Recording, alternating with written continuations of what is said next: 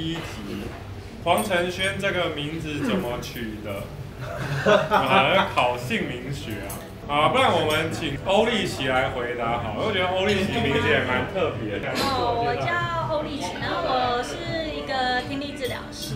那我觉得，觉得你名字可能是算出来的。哦。好，那这个回答基本上是完全正确啦，因为就是算出来的，没错。这个代答可以，就是我给满分这样。这个提问的话，问我名字怎么取，我觉得这有点无聊了，这个问的有点无聊，大家可以那个填一填，对，题号要填五哦，我这个题号是五哦，对。所以提问的正确的分数是六一点六六分，就是六是六十二分啊，六十二分，最接近的是五十六，哇。对欧欧是北欧利奇哦，那个获得三分，再来是那个代答，代答分数是一百零五，最接近的是一百零一分，一百零一是 J J，哇，强强强！那我们现在要第六题，就是正赛第二题。这个题目是你最强的比赛项目是什么？跟别人单挑什么，你一定会赢。想一下，这题应该要请谁来代答？馒头好，我们这个两届四强选手。如果一定要，我一定会演，就比赛写我出的考卷。可以可以可以可以。好，这个题目问的不错啦，但这个代答不行。比自己出了考卷，这个是不是君子的行为？那其实比什么我都会赢，因为重点不是项目，重点是裁判是谁嘛，对不对？你只要掌握裁判，比什么项目不重要嘛。所以这个题目是陷阱题啊。对，好。我们这个提问分数是五十分，所以最接近的是，哇靠，竟然有两个人，有两个人都猜五十，欧安跟林安阳各得二点五分。再来是那个代答分数，代答分数是一一六点八，最接近的是一一二，林嘉佑，哇靠，怎么这个这么强啊？你今年要完成的三个目标，这个太开放了。好，这题请我们公司总经理先回答，我再回答。火星计划的年营收三亿嘛，股东会讲过了。然后这个呢，我希望这个我们公司的员工都能健健康康，所以我们要执行每个月一次的运动日。其实这个活动主要是让老板开心啊。对，好，我希望我自己的年收入翻倍啊。好，就这样，就这样，就这样。好。那这个我前两题答的都还可以啊，除了那个是是要我爽，这个 我觉得不对这样。子，我觉得这个是要那个员工健康的，然后就是嗯第三个那个不对这样子，那个我通常每年的那个目标收入应该是前一年的五倍了，对它那个数字不对，他那个二要改成这样，对，所以这题这个三个。就是算是命中一点五吧。对啊，那个提问就是很无聊啦。我觉得提问就零分了，不用 不用不用讨论，零分，大家自己看着办。我给零分。对，好，那首先是我们的提问分数，平均是，哇靠，四十哎，这还蛮高的。因为有人冠分，所以最接近的人是三十六。张耀腾三十六，你跟谁结盟了？没有，没结盟。代达这平均是两百二十一点五啊！我看有一个猜一八零的马克杨，哎，是不是偷看我打的？地理优势，地理优势，好，来抽题目，终于可以抽题目。好，这个吧，这个问的真好。请问在场人类的总头发数量是多少？这有一个圣经经文的典故，因为圣经上有讲说，那个我们的头发有几根，那个上帝都有数过，然后就有人问那个教会牧师说：“你跟上帝能沟通，你可不可以告诉我的头发有几根？” 我以前都会这样问牧师问题，对，现在有人问我这个也很合理。第二个是那个长度大于等于十公分的总头发数量是多少？其实跟第一题差不多了，对。那这里我们请那个我们对基督教比较有研究的这个，嗯，林恩阳大大来回答好了。哦，我是林恩阳。好，我跟他教在教会认识的。嗯呃，有几根在场头发有几根，这时候就不应该算的，这是应该祷告的。嗯，应该祷告。人没有对到。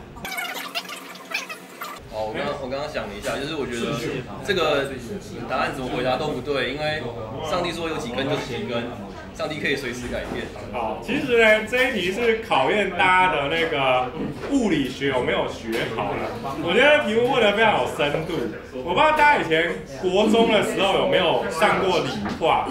大家国中理化课本应该有教大家一个观念，叫做那个估计值。所以呢，这一题的话呢，我的答案就是这个一百亿根这样子。那我只要答一百亿根，然后我说我这是估计值就好了，这样我就不可能答错了嘛。我就一定是正解了，就是表示答案在零到一百亿之间嘛。然后这个第二题也是一样的嘛，对，就回答个什么十亿根之类就可以。这一题是考大家国中理化，对，我觉得题目出的不错，这样子。对，他可能那个学到大学数学的就不接受这种国中理化的这种估计的方式，这样子。所以有时候就是大家那个学问太高，反而不利答题。对，这个代答就是大概不会太高分这样，但提问会蛮高分的。对，好，大家可以那个作答。好，我们这一题的那个提问分数平均是一百四十一点二，有一个人猜了一百四十，真的太强了。哇，马克雅这个位置优势，林立进。然后再来是那个代答分数，代答分数是四十七，有人直接命中，哇，是馒头，看馒头也是开无双了。你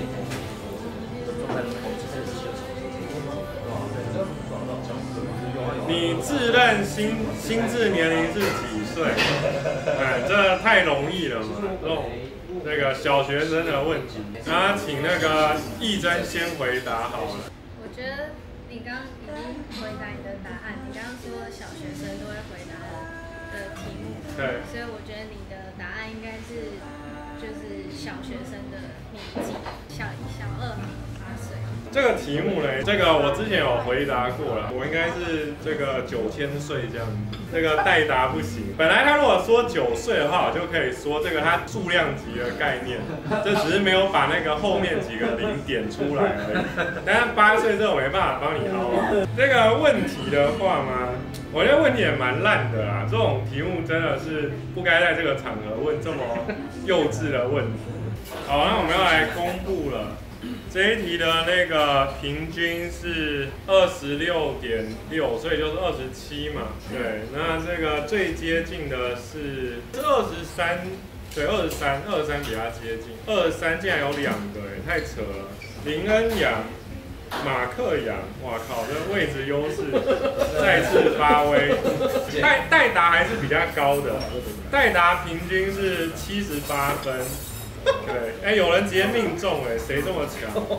有人猜七十八，馒头，哇靠，馒头太神了，然后来抽题目了。嗯。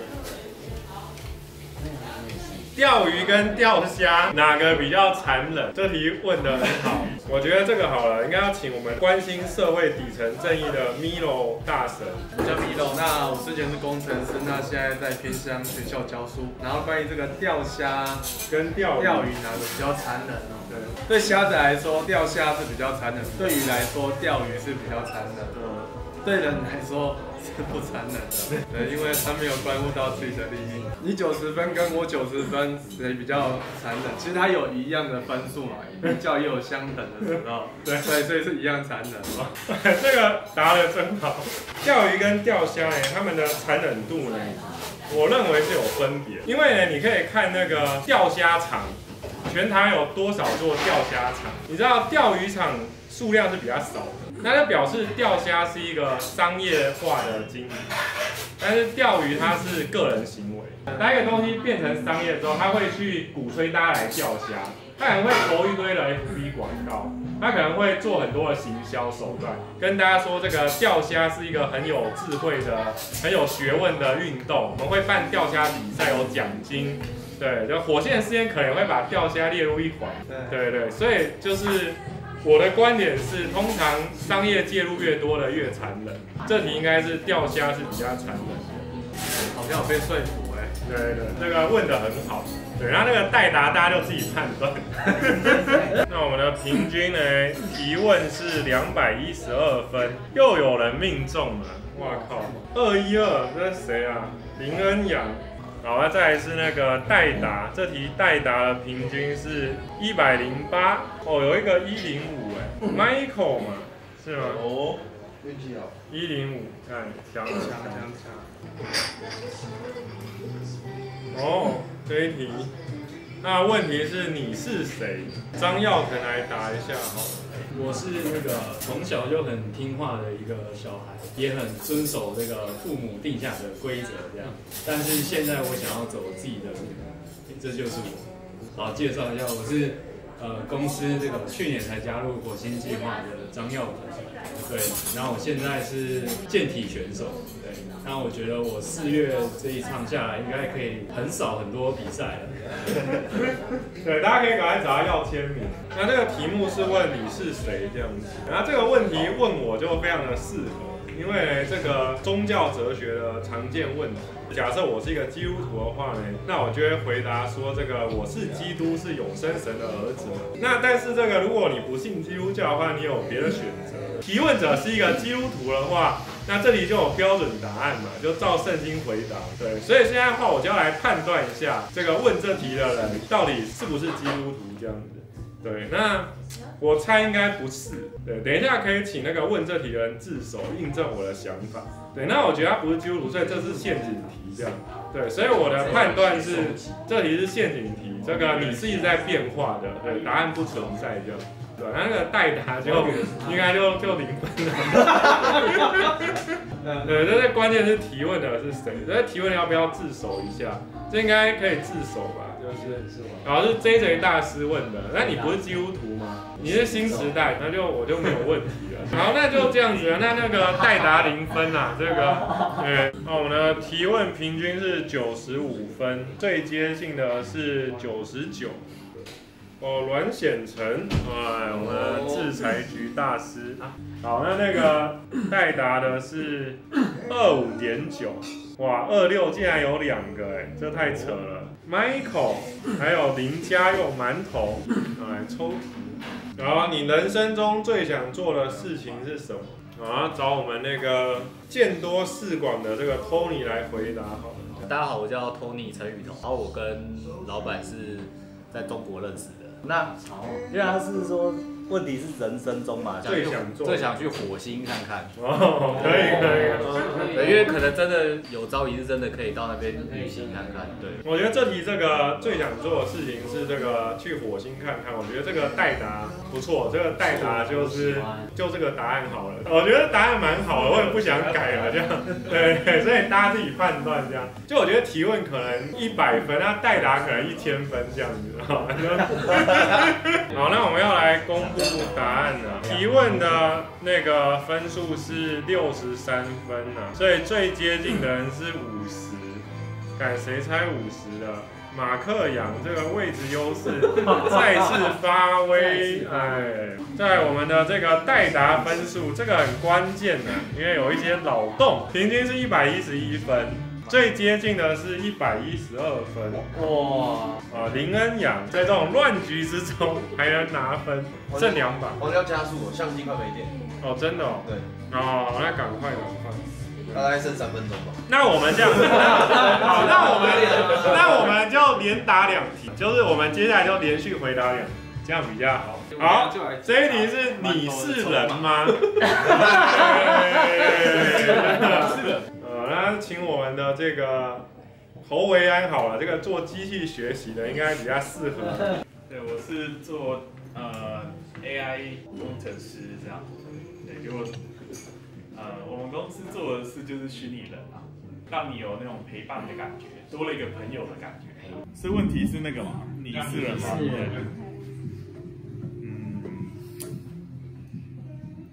我还是觉得这个问题很难回答，因为其实我分不我现在有点分不太出 AI 跟人的差别。对，啊，这个问题哈，秒答当然不是。